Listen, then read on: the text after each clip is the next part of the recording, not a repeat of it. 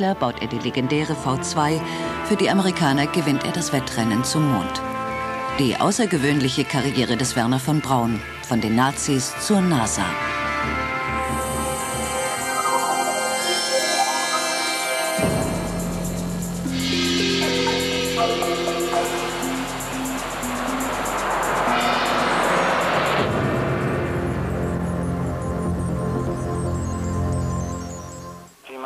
Seconds. Guidance is internal. 12, 11, 10, 9. Countdown zu einem Raketenstart. Für Werner von Braun sind dies die glücklichsten, aber auch spannendsten Augenblicke in seinem Leben. Der Weltraumpionier durchlebt diese Sekunden wieder und immer wieder. Im Zeitraffer bestimmen sie sein Lebenswerk, von Misserfolgen bis zu Momenten des unwiederbringlichen Triumphes. Sein Verdienst und die Krönung seiner Karriere ist die erste Mondlandung dreier Amerikaner im Juli 1969.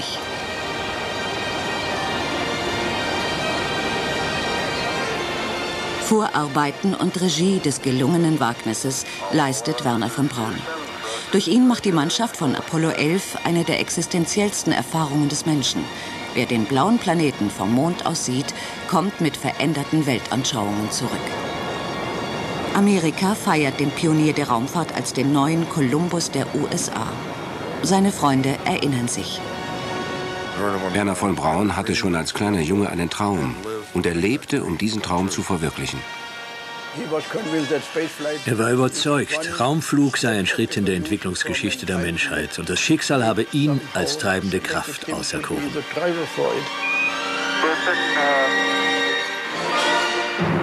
Tranquility Base here.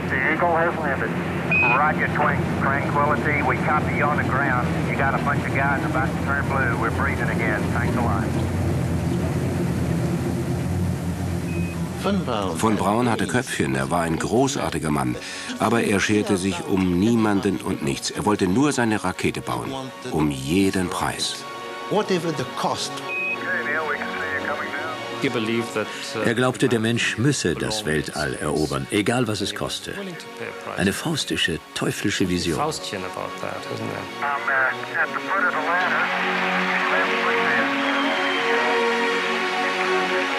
Von Brauns Karriere hat einen außergewöhnlichen Werdegang. Von Deutschland in die USA, von den Nazis zur NASA.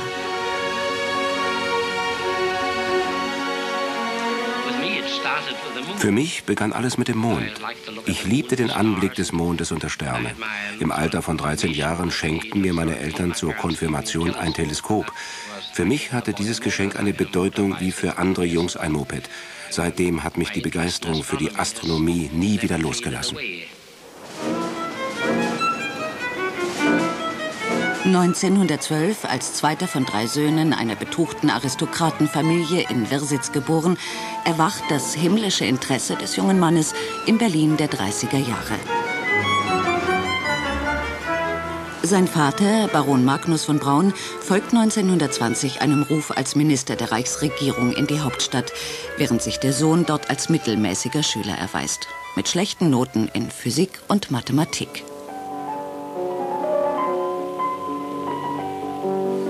Sein Herz schlägt zunächst für die Musik, eine Leidenschaft, die ihn ein Leben lang begleitet. Sein Freund und Biograf Frederick Ordway. Er wuchs in einer intellektuell kultivierten und weltgewandten Familie der Oberschicht auf. Eher ein ungewöhnliches Umfeld für einen, der sich plötzlich für so profane Dinge wie Raketen interessierte.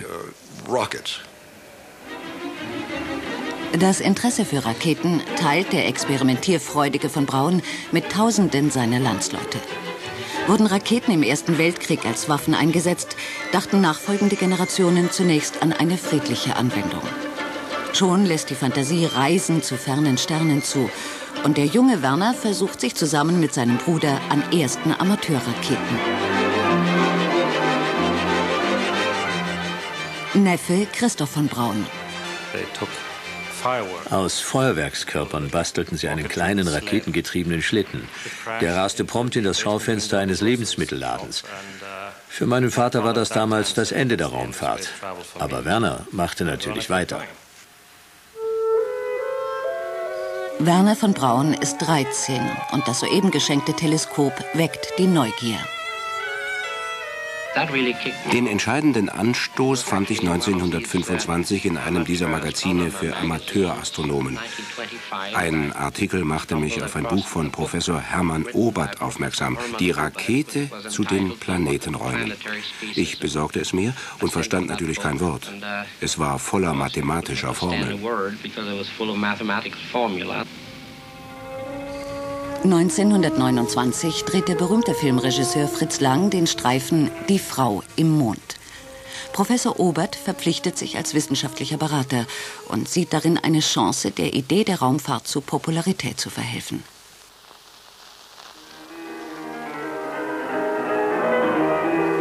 Die Filmrakete benötigt keinen Sauerstoff zur Verbrennung von Treibstoff, also ist sie weltraumtauglich. Ein Vorgriff auf die Zukunft? Und der Kinostreifen präsentiert den ersten Countdown für den Start ins All. Der Film zeigte eine Reise zum Mond und erklärte zunächst den Raketenstart. Da sehen Sie, wie eine mehrstufige Rakete abhebt und sich die einzelnen Antriebsstufen trennen. Dann erleben wir eine erste Vorahnung von Schwerelosigkeit.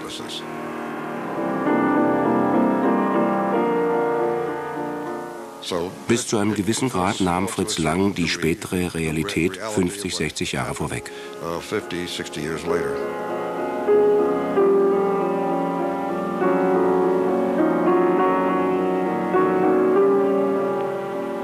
Stummfilmkomik mit ungeahntem Sinn für die Zukunft. Schwerelosigkeit in der Simulation. Im Alter von 13 Jahren sieht die Welt noch einfach und wunderschön aus. Obwohl ich nicht alles verstand, blieb bei mir hängen, eines Tages reisen Menschen mit Raketen nicht nur zum Mond, sondern auch zu anderen Planeten. Ganz klar, das war meine Sache.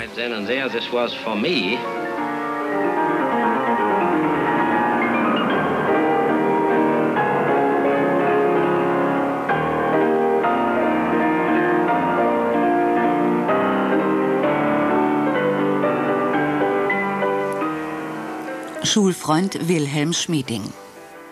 War er fest überzeugt, das schaffe ich, das werde ich schaffen. Und da kam eben immer wieder das Gespräch, würdest du mir dann zur Verfügung stehen? Jawohl, ich würde dir zur Verfügung stehen, das möchte ich.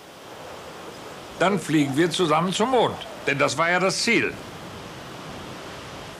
Kaum hat er die Schule absolviert, erprobt von Braun mit Freunden seine ersten flüssigkeitsgetriebenen Raketen und in Fachpublikationen urteilt er knapp und nüchtern, noch zu seinen Lebzeiten sei der Raumflug möglich.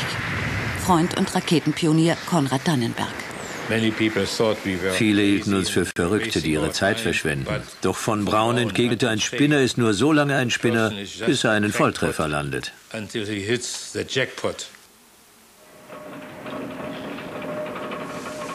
Das Kapital für die Raketenexperimente ist knapp, nur die Wehrmacht verfügt über ausreichende Mittel. Im Sommer 1932 präsentiert von Braun sein neuestes Modell einer Gruppe Offiziere. Die sind nicht sonderlich beeindruckt, aber versprechen den jungen Raketenbauern finanzielle Unterstützung unter der Bedingung absoluter Geheimhaltung. Die jungen Idealisten lehnen eine militärische Beteiligung ab, außer Wernher von Braun. Er war ein sehr praktisch veranlagter Mann, ein Opportunist. Er zog seine Sache mit der deutschen Wehrmacht durch, zur Verzweiflung seiner Partner. Für den Rest seines Lebens hängt Werner von Brauns weitere Karriere eng von der Finanzierung durch Militär und Regierungen ab. Mit 20 Jahren arbeitet er bereits für das Heereswaffenamt, das auch seine Doktorarbeit an der Berliner Universität finanziert. Sein Kompromiss Entwicklung neuester Raketentechnologie für militärische Zwecke. Der damalige Luftwaffenbeauftragte Wilhelm Zeiss.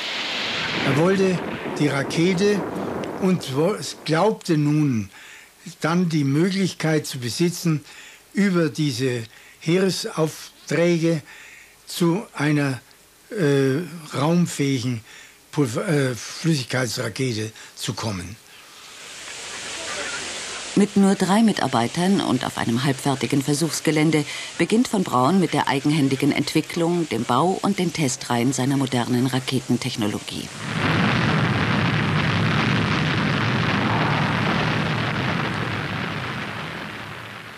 Nur drei Monate nach seiner Verpflichtung gegenüber dem Heereswaffenamt übernimmt ein neuer Kanzler die Macht im Reich, Adolf Hitler. Von Braun entwickelt Pläne für eine Rakete mit 300 Kilometern Reichweite, während die Nazis eine Wiederbewaffnung Deutschlands planen. Von Braun erhält alle Unterstützung und kurzfristig entsteht nahe der Ostsee ein neues Versuchsgelände unter größter Geheimhaltung.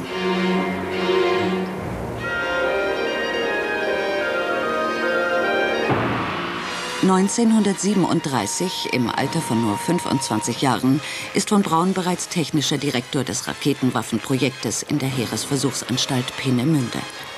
Kurz vor Kriegsausbruch empfängt er Hitler und dessen Berater Oberst Walter Dornberger zu einer Demonstration seines Könnens. Da war doch festzustellen, dass Hitler momentan beeindruckt war. Erstens war es ein ungeheurer Lärm, der plötzlich auftrat und diese schweren Bäume in der Umgebung, die sind unter dem Eindruck der abgeleiteten Auspuffgase so richtig meterweit nach allen Seiten umgebogen worden. Die legendäre Rakete A4 wäre mit 300 Kilometern Reichweite ein Erfolg für die langfristigen Pläne des Raketenpioniers, aber eine tödliche Waffe in Händen des Diktators. Hitler ist beeindruckt, steht jedoch unter Zeitdruck. Hitler sagte noch, und es war mir damals interessant, ich bin nicht interessiert an Entwicklungen, die über lange Jahre gehen. Wie lange schätzen Sie, sagte jetzt wieder zu Domberg oder von Braun, wie äh, Ihre Entwicklung? Ja, fünf bis zehn Jahre.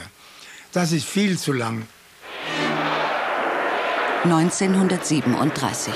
Von Braun tritt der NSDAP bei, der Partei der Nazis. Hitler gibt Geld und erwartet schnelle Resultate. Von Brauns Neffe Christoph.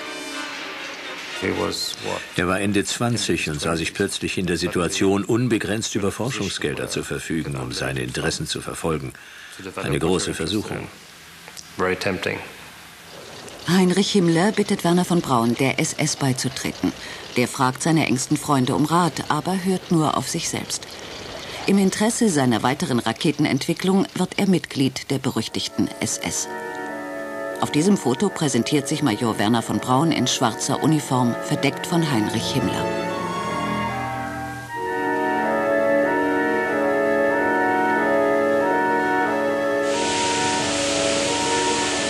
Dritter Oktober 1942. Historische Filmaufnahmen zeigen von Braun und seinen Vorgesetzten Oberst Dornberger bei den letzten Vorbereitungen zum Start der Rakete A4. Gleichzeitig entwirft Regisseur Fritz Lang sein Filmszenario für den Kinostreifen Die Frau im Mond. Oberst Dornberger befiehlt den Start der A4 für 4 Uhr. Die Nazis feiern ihre neue Waffe mit Raketenantrieb für von Braun und seine Mannschaft ist das der erste Schritt auf dem Weg ins Weltall. Wir organisierten für diesen Abend eine kleine Feier und ich entsinne mich an eine ziemlich emotionale Rede von Dornberger. Er sagte, ist dir eigentlich klar, dass heute das Raumschiff geboren wurde? Man hatte nicht den Eindruck, dass den Herren bewusst war, eine tödliche Waffe zu entwickeln. Ich glaube, da war Werner von Braun der entscheidende Mann dazu. Der hatte von vornherein irgendwie das Fluidum verbreitet. Das ist jetzt mal ein notwendiger Umweg. Die eigentliche Entwicklung, die geht später weiter nach dem Krieg. Der erfolgreiche Start Anfang Oktober 1942 ist eine glückliche Ausnahme. Von weiteren elf Versuchen schlagen die meisten fehl. Hitler hält dennoch am Raketenprogramm fest. Er setzt auf die neue Wunderwaffe, die nun den Namen V2 trägt. Sie fordert schon bei der Herstellung zahllose Menschenleben. 8000 Zwangsarbeiter müssen im sogenannten Mittelwerk Tunnel graben, durchleben fünf Monate grausamster Menschenschinderei.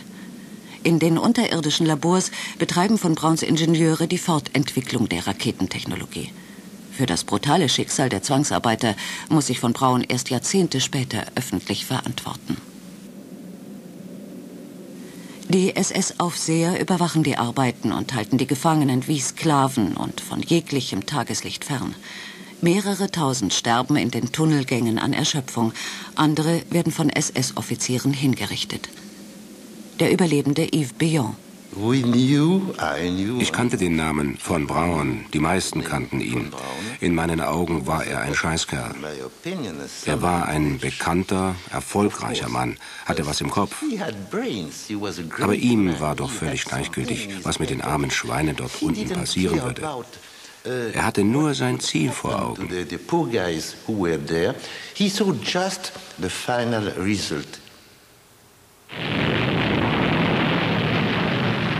8. September 1944. Von mobilen Abschussrampen starten die ersten V2-Raketen mit Ziel London und Antwerpen. In den folgenden sieben Monaten feuern die Nazis über 1100 Raketen gegen die britische Hauptstadt.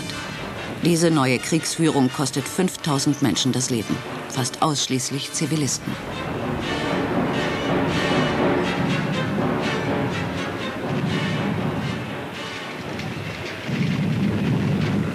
1. Mai 1945. Einen Tag nach Hitlers Selbstmord nimmt Werner von Braun Kontakt mit vorrückenden amerikanischen Truppen auf. Die einstigen Kriegsfeinde behandeln die deutschen Raketenpioniere wie berühmte Stars. Die Vernehmungsoffiziere des US-Militärs weiht von Braun in sein Geheimwissen nur so weit ein, bis ihre Neugierde geweckt ist. Konsequenz, die Amerikaner bieten dem einstigen SS-Major von Braun an, ab sofort für die USA zu arbeiten.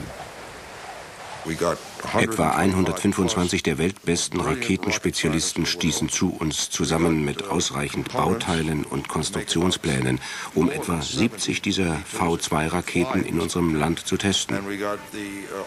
Für einen lachhaften Preis. Erinnert sich Frederick Aldby. Amerikanische Truppen befreien die versklavten Zwangsarbeiter aus dem Tunnellabyrinth des deutschen Raketenlabors. Sie finden lebende Skelette. Während der Jahre der Raketenproduktion starben mehrere tausend Gefangene. Doch die amerikanischen Militärinstanzen zeigen kein Interesse, in diesem Fall wegen Kriegsverbrechen zu ermitteln. Im Gegenteil. US-Offiziere durchsuchen deutsche Archive nach belastendem Beweismaterial und entfernen zahlreiche Dokumente. Sie wollen die nun für die USA arbeitenden Raketeningenieure mit weißer Weste präsentieren. Washington gab Anweisungen, von Browns Beurteilung als potenzielles Sicherheitsrisiko nochmals zu überdenken. Dessen Mitgliedschaft in der SS wurde einfach unter den Teppich gekehrt.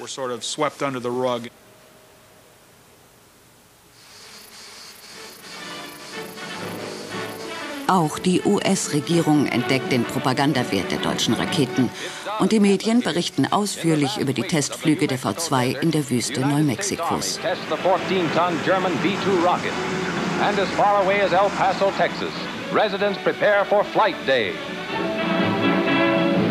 Originalton US-Fernsehen die schreckliche Waffe, mit der die Nazis den Krieg für sich entscheiden wollten, führt nun unsere eigene Raketenentwicklung weiter voran. Nur wenige Wochen nach Kriegsende sind die deutschen Raketenbauer schon wieder in den Schlagzeilen. Diesmal im Dienste der US-Armee. Ingenieur Konrad Dannenberg. Eigentlich waren wir Gefangene und konnten uns nicht frei bewegen. Die ersten Jahre saßen wir im Fort Bliss nur herum. Man wollte uns lediglich von den Russen fernhalten.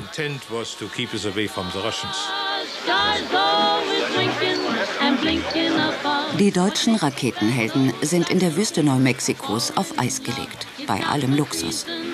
Während Washington den Propagandaeffekt in Richtung Osten nutzt, träumt Werner von Braun viele Jahre voraus.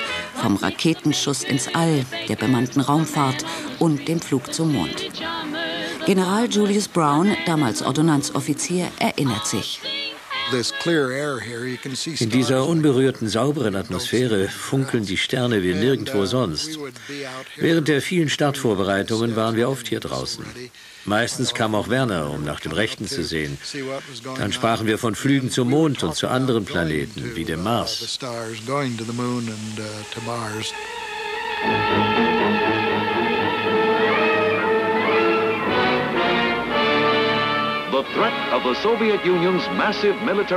Ende des Zweiten Weltkriegs, Beginn des Kalten Krieges. Die Welt zerfällt in zwei feindliche Machtblöcke zwischen Ost und West, zwischen den Idealen des Kommunismus und der Demokratie. Die militärischen Drohgebärden aus Moskau machen von Braun und sein Team zu gefragten Raketenspezialisten in den USA.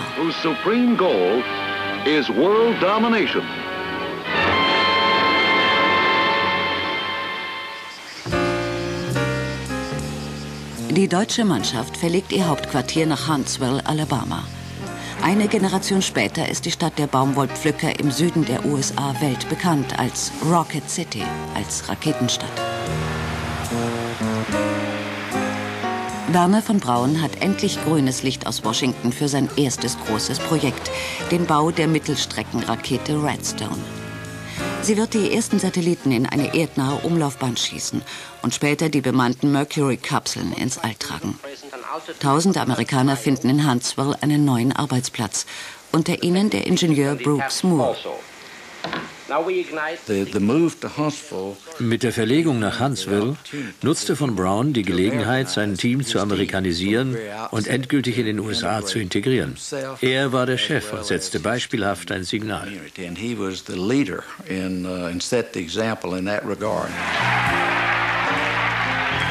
Der schwarze Ledermantel der SS ist längst Vergangenheit. Die texanische Kopfbedeckung steht ihm besser. Von Brauns Englisch behält den harten deutschen Akzent, doch sein reicher Wortschatz beeindruckt die Amerikaner. An seiner Seite lächelt Ehefrau Maria. Die zweite Tochter wird in Huntsville geboren. Es folgt ein Sohn. Er hatte ein sehr eingeschränktes Privatleben und war der klassische Workaholic, lebte ausschließlich für seine Arbeit. Er sah auf die Uhr und sagte, Brad, wir haben keine Zeit, um nach Hause zu gehen. Lass uns die Mädels anrufen. Also baten wir unsere Frauen. Kommt rüber und bringt ein paar frische Hemden mit. Dann gingen wir zur Einbürgerung.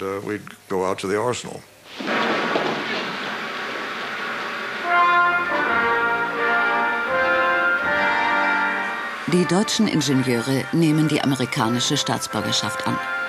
Teamchef von Braun wird zum technischen Direktor des militärischen Raketenprogramms der USA ernannt. Die Fictionfilme fliegen in den 40er Jahren der Realität voraus. Und von Braun setzt sich zum Ziel, diese Zukunftsszenarien in die Wirklichkeit umzusetzen. Doch dabei gab es ein psychologisches Problem, erinnert sich Professor Howard McCurdy. Die Amerikaner durchlebten eine wunderbare Zeit. Mit seiner Science-Fiction-Fantasie von Mondjungfrauen und außerirdischen Lebewesen versetzte Buck Rogers die Menschen in helle Begeisterung. Doch in Konsequenz dachten die meisten Leute, Raumfahrt ist nur ein Hirngespinst der Fantasie. Von Braun verfolgt sein Ziel mit dem Eifer eines Missionars. In einer groß angelegten Kampagne versucht er die amerikanische Öffentlichkeit für die Raumfahrt zu begeistern. In der populären Wochenzeitung Collier's Magazine zeichnet er ein verblüffend wahrheitsgetreues Szenario von der Eroberung des Weltalls. Die Reise in die Zukunft beginne mit einer vierstufigen Rakete, die zunächst Satelliten in Umlaufbahnen schicke. Die bemannte Raumfahrt brächte die ersten Menschen zum Mond und zum Mars. Und schließlich wäre eine große Raumstation das Ziel. Als Basis für atomwaffenbestückte Raketen, die auf die Erde gerichtet sind, auf den Feind. Von Braun offenbart den Amerikanern eine machbare, nahe Zukunft. Dr. Milton Rosen vom damaligen Forschungslabor der US-Marine. Ich fragte ihn, Sie vertrauen doch nicht wirklich den Berechnungen, die Sie für Ihre Satelliten erstellten. Darauf er, darum geht's doch gar nicht. Das ist doch nur für Werbezwecke. Sie erstaunen mich. Sie als Amerikaner müssen verstehen, die richtige Werbung ist in diesem Land der entscheidende Faktor. Mit bodenständiger Weltanschauung verkauft ihr das Raumprogramm niemals der Öffentlichkeit. Aber lasst mich mal machen. Es wird zu euer aller Nutzen sein. Von Braun dehnt die Werbekampagne auf Kino und Fernsehen aus. Hier ist mein Entwurf für ein Raumschiff, angetrieben von einer vierstufigen Rakete. Im Vergleich zu unbemannten Raketen ist es ziemlich groß. Wirbt der Chef und stellt einen Vorläufer des heutigen Space Shuttle vor, der bis zu zehn Astronauten an Bord Platz bietet. Die Flugbahn aus der Traumwelt in die Wirklichkeit ebnet Walt Disney mit einer Fernsehserie rund um von Braun und seine Ideen. Resultat, Ende der 50er Jahre glauben die Amerikaner an die Zukunft im All. Starten wir heute ein wohl durchdachtes und gut organisiertes Raumfahrtprogramm, dann denke ich, in zehn Jahren könnten wir ein bemanntes Raumschiff bauen und testen.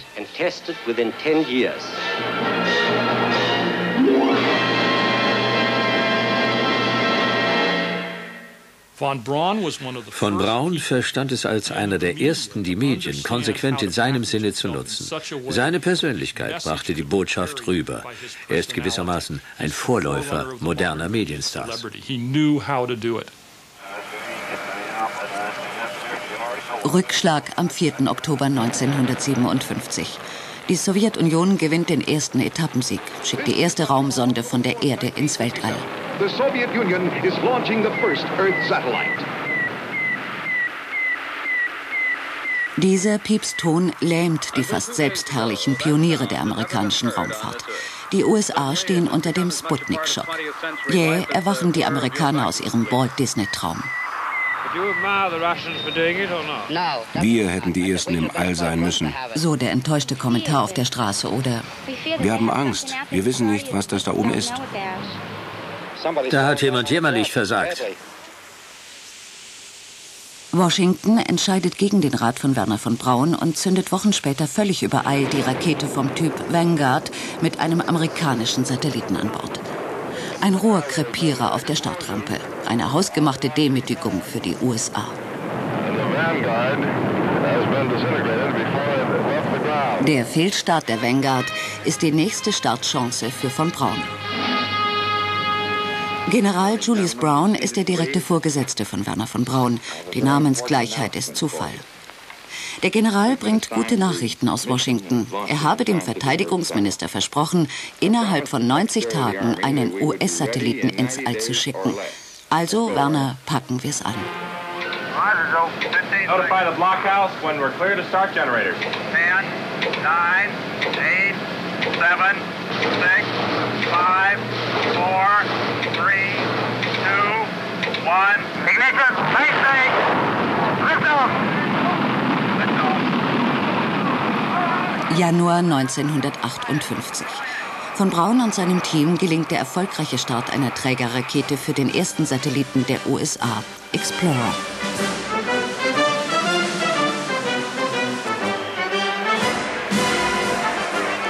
Der deutschstämmige Weltraumpionier ist nun ein Held der USA.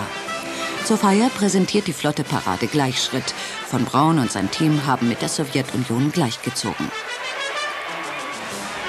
Der Visionär plant in Gedanken schon viel weiter. Doch im Weißen Haus sitzt ein zögernd vorsichtiger General mit der Erfahrung des Zweiten Weltkriegs. Eisenhower war kein Befürworter des bemannten Raumflugs, sondern unterstützte die Satellitenerprobung und die wissenschaftliche Erforschung des Weltalls. Doch von Braun und seine Anhänger hatten eine sehr viel romantischere Vorstellung von der Entdeckung des Weltraums. Er dachte, Menschen an Bord eines Raumschiffes würden bei der Öffentlichkeit mehr Interesse und Begeisterung auslösen. Präsident Eisenhower bleibt skeptisch, während sich die ersten sieben Astronauten auf einen amerikanischen Erstflug in Schwerelosigkeit vorbereiten. Astronaut Walter Schirra im Rückblick. In seinem Kopf blieb von Braun jung und neugierig. Gebt mir eure Ideen und wir setzen sie um. Ich hoffe, hier drinnen ist genügend Platz, um nächstes Mal einen Freund mitzunehmen. Raten Sie mal, wen er meinte.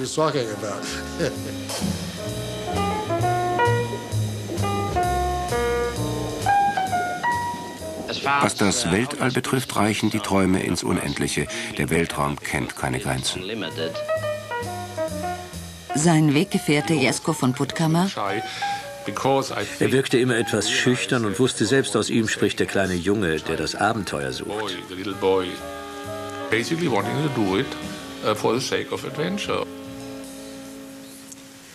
Aber um hartgesottene Politiker zu überzeugen, die um ihre Wiederwahl bangen, genügt es nicht, daher zu plaudern. Im US-Kongress spielt Werner von Braun die russische Karte, um das enorme Budget für die Weiterentwicklung der Raumfahrt zu sichern. I'm convinced that the ich bin überzeugt, die Russen haben ein klares Konzept. Sie vergleichen die Kontrolle über das Weltall mit dem Einfluss der Seemächte im 16. bis 18. Jahrhundert. Die Russen denken, wollen wir Macht über diesen Planeten, müssen wir auch den Weltraum kontrollieren. Von Braun nutzte die Tragweite seiner Botschaft, um amerikanische Politiker zu überzeugen. Sie sollten Milliarden Dollar bewilligen, um eine Raumstation zu bauen oder zum Mond zu fliegen. Seit seinem 20. Lebensjahr weiß Raketenmann von Braun, bei der Eroberung des Weltraums spielen die Interessen der Militärs eine wichtige Rolle. Und er denkt laut nach über die Entwicklung von Langstreckenraketen mit Atomsprengköpfen. Auf Besuch nach Deutschland kam Werner von Braun. In Frankfurt sprach er über die Probleme der modernen Raketenforschung. Sollen wir heutigen unsere Arbeiten zur Erschließung des Weltraums einstellen, weil Raketen wie Flugzeuge auch militärisch eingesetzt werden können? Wo enden alle diese Fragen? Sollen wir abwarten, bis auf dem Mond die rote Fahne hochgeht? 1958. Gründung der legendären NASA, der zivilen nationalen Luft- und Raumfahrtbehörde der USA. Von Braun sieht sich erneut im Aufwind seiner Pläne. Da gewinnt die Sowjetunion die zweite Etappe im Wettlauf. Vor einer halben Stunde gaben die Russen bekannt, der erste Mensch sei auf dem Weg ins Weltall. Am 12. April 1961 umkreist Juri Gagarin die Erde in einer Höhe von 372 Kilometern für eine Stunde 48 Minuten. Moskau feiert seinen ersten Kosmonauten als innen- wie außenpolitischen Erfolg. US-Präsident John F. Kennedy nimmt den Schlag gegen das Prestige der Vereinigten Staaten persönlich. Zwar gelingt der NASA schon einen Monat später der erste bemannte Raumflug mit Alan Shepard, doch nur für 15 Minuten. Dann der Auftrag aus dem Weißen Haus, entwerfen sie eine neue Strategie für den Wettlauf ins All. Werner von Braun bereitete eine zehnseitige Antwort vor. Und am besten gefiel mir seine Anmerkung, beim Wettlauf zum Mond haben wir eine sportliche Chance, die Russen zu schlagen. Unsere Nation sollte sich einem Ziel verpflichten. Ehe dieses Jahrzehnt endet, sollte ein Mann auf dem Mond landen und wieder sicher zur Erde zurückkehren. Von Braun hatte Kennedy ermutigt, im Mai 1961 vor dem Kongress diese Mondreise anzukündigen. September 1962. John F. Kennedy besucht die Raketenstadt Huntsville im Süden der USA. Genau 20 Jahre zuvor hatte von Braun seine Raketenpläne an Hitler verkauft. Jetzt lastet auf seinen Schultern die Hoffnung der USA. Das Top-Team arbeitet an der dreistufigen Saturn V. Die über 100 Meter hohe Trägerrakete ist eine der erfolgreichsten Ingenieurleistungen der USA. Jesko von Puttkammer. Es gab die Idee, 120 Tonnen Gewicht mit Hilfe einer kleinen Atombombe ins Weltall zu schicken und obendrauf die Menschen zu platzieren. Uh,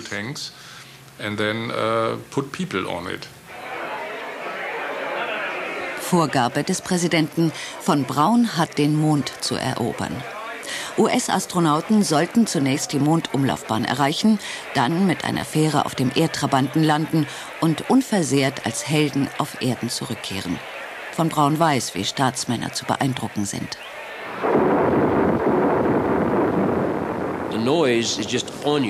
Das Getöse ist gewaltig und als nächstes spürt man die Hitze im Gesicht und im Hosenbein. Wer das zum ersten Mal erlebt, ist fürchterlich erschrocken. Aber Kennedy zeigte Begeisterung. Er drehte sich mit seinem berühmten, breiten Lächeln um, griff nach von Brauns Hand, schüttelte sie und schwärmte, wundervoll, Dr. von Braun. Die Rakete hat mich zutiefst beeindruckt. big Kennedy smile and he grabbed von Braun's hand and shook it and said, "Wonderful, wonderful, Dr. von Braun. I am tremendously impressed with that machine." Kennedy reist zufrieden ab und ist überzeugt, der erste Mann auf dem Mond wird ein Amerikaner sein. Er sollte Recht behalten, es aber nicht mehr selbst erleben.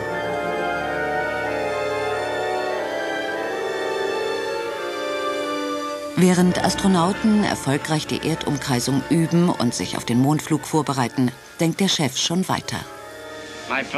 Nach meiner persönlichen Einschätzung werden wir die Planeten für etliche Jahre mit unbemannten Sonden erkunden, dann folgt der Mensch. Aber ich schätze, der bemannte Raumflug zum Mars lässt noch ein, zwei Jahrzehnte auf sich warten.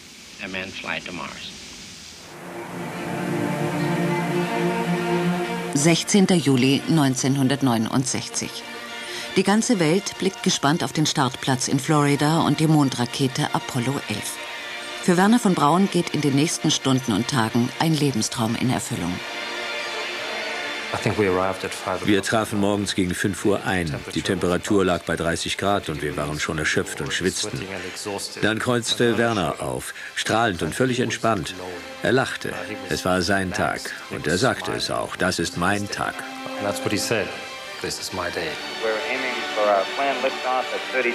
Der Fernsehkommentator ehrt ihn mit den Worten, der wahre Grund für diese Mondreise mag ganz einfach Ehrgeiz sein. Der Ehrgeiz dieses Mannes. Ihn allein kann man als Vater der Mondrakete bezeichnen. Er hatte die entscheidende Idee für die Apollo-Mission.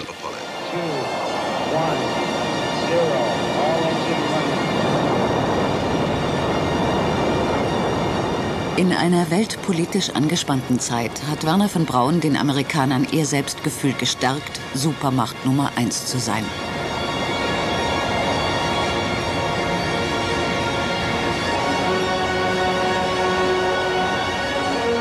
Neil Armstrong, Buzz Aldrin und Michael Collins eröffnen den Erdbewohnern eine neue Weltanschauung. Werner von Braun war der unbeirrbare Vordenker dieser Mission. Für Werner hatte sich ein Science-Fiction-Traum verwirklicht. Apollo 11 war die Krönung seiner Karriere und unserer Arbeit. Im Augenblick des größten Triumphes melden sich Überlebende aus den Tunneln der Nazis zurück. Dort, wo von Braun für Hitler die V2 weiterentwickelt hatte. Der ehemalige Zwangsarbeiter Yves Beyon. Der amerikanischen Bevölkerung, ja gefährlicher noch, auch den Schulkindern, wurde er als Held und Vorbild präsentiert. Ihm müsst ihr es nachmachen.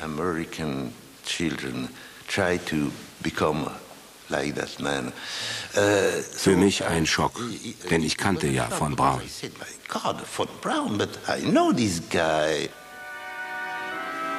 Den Raketenpionier holt die Vergangenheit ein.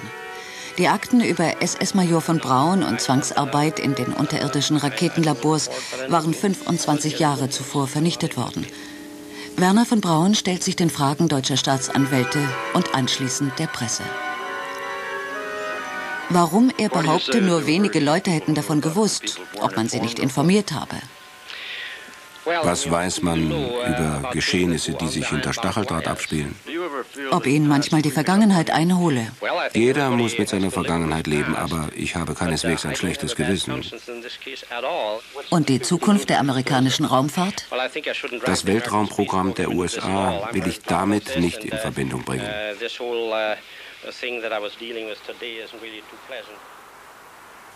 Mr. Weltraum ist Held der Vereinigten Staaten von Amerika. Alle waren hinter seinem Genie her, Adolf Hitler ebenso wie John F. Kennedy und sein Nachfolger Lyndon B. Johnson. Zur Durchsetzung nationaler oder gar supranationaler Interessen heiligt oft der Zweck die Mittel. Auch demokratische Regierungen handeln da skrupellos.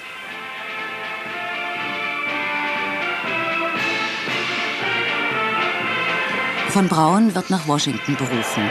Er soll den nächsten Schritt ins All vorbereiten. Doch seine Zeit läuft ab. In Huntsville hieß er nur Mr. Weltraum. Er hatte die Stadt über Nacht verändert, das haben sie ihm nie vergessen. Doch alle hatten das Gefühl, das ist das Ende einer Ära. And everyone had the feeling this is the end of, of an era. Meine Freunde, wir haben in den Straßen von Huntsville getanzt, als unser erster Satellit die Erde umkreiste. Und wir tanzten nach der Landung der ersten Amerikaner auf dem Mond.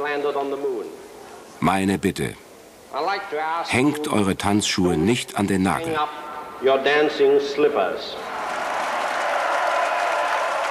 Die Ankunft in Washington ist eher ein Abschied. Die USA haben den Wettlauf zum Mond gewonnen. Nun wollen Politiker die Steuergelder in Milliardenhöhe lieber im Land verplanen. Nicht einmal Werner von Braun kann sie von einer Mars-Mission überzeugen. Im Weißen Haus wie im Kongress war längst entschieden, das Weltraumprogramm auf ein bescheidenes Niveau zurückzufahren. Er war zu bemitleiden, wie er für eine Idee warb, die längst tot war.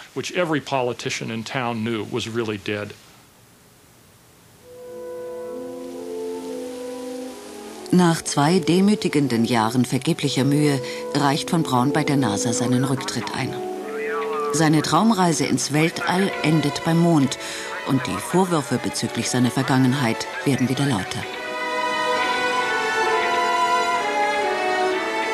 Der ehemalige Luftwaffenbeauftragte und Weggefährte Wilhelm Zeiss. Aber er hat äh, gute Arbeit geleistet.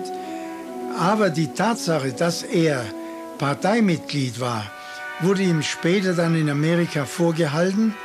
Er hat mir das persönlich erzählt, auch sehr bekümmert. Er hatte den Eindruck, nun, wo man alles Wissen aus ihm herausgenommen hatte, könnte er eigentlich abtreten. Und man schob ihn ab. Und ich führe seine spätere Krebskrankheit auch auf dieses totale Enttäuschtsein zurück. Seine letzten Lebensjahre sind von einem schweren Krebsleiden beherrscht. Freunde besuchen ihn im Krankenhaus und mit ihnen diskutiert er quälende Fragen der Vergangenheit. Haben wir richtig gehandelt? Sind die horrenden Kosten durch den Erfolg gerechtfertigt? Wie geht es weiter? Er stellte diese Fragen wieder und wieder, aber er erhielt immer die gleiche Antwort.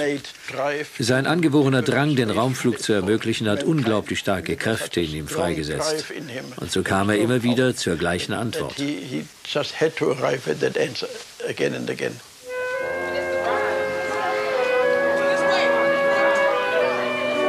Die Antwort ist unstrittig. Mit sieben Meilenstiefeln eroberte die Menschheit das Weltall in nur wenigen Jahrzehnten. Und die Unendlichkeit des noch zu erforschenden Weltraums setzt keine Grenzen. Im Herbst 2000 beziehen die ersten Astronauten und Kosmonauten die internationale Weltraumstation ISS. Werner von Braun erliegt seinem Krebsleiden im Juni 1977 im Alter von 65 Jahren. Unvergessen bleibt sein Pioniergeist, der eine ganze Epoche bestimmte. Wir wissen, der Forschergeist des Menschen muss seit jeher und auch jetzt die Herausforderungen des Unbekannten annehmen.